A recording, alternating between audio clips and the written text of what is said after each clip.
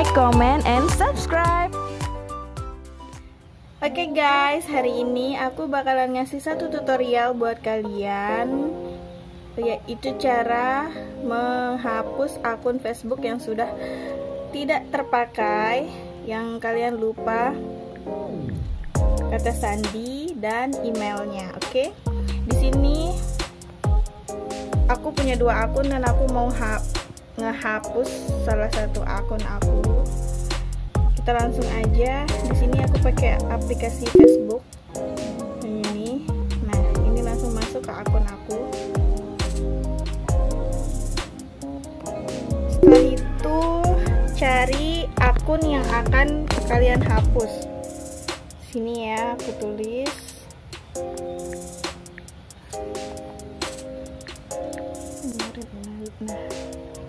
nah yang ini akun aku yang lama dan aku mau hapus akun ini. Caranya itu kalian klik uh, ada tombol tiga sebelah kanan yang ini. Klik terus klik cari dukungan atau lap laporan profil nah di sini langsung aja klik berpura-pura menjadi orang lain.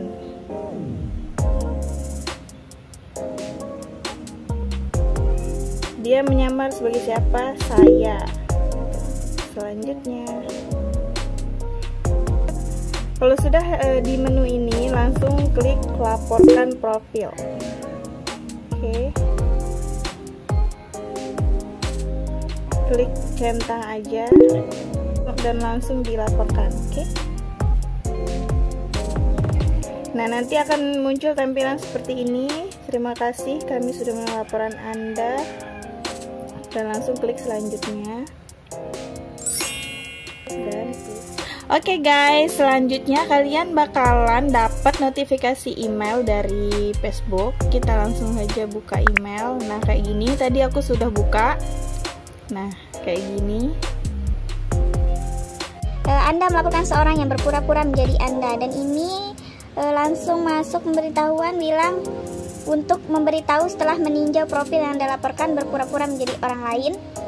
Jika profil tersebut melanggar salah satu standar komunitas kami, kami akan menghapusnya atau menindaklanjuti dengan pemilik profil itu secara langsung. Nah, jadi kalian tinggal tunggu sekitar tujuh hari paling lama untuk tim Facebook menghapus akun kita yang tadi. Oke okay guys, hanya itu yang aku bisa share untuk kalian. Apabila bermanfaat untuk kalian, jangan lupa share ke teman-teman kalian. Dan jangan lupa like, comment, and subscribe. Terima kasih.